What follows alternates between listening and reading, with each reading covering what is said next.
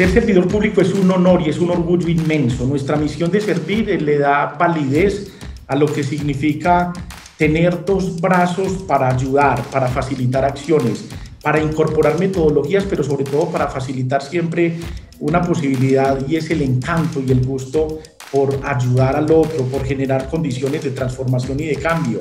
pero sobre todo por hacer agentes de estímulo y de motivación. En el marco de mi PG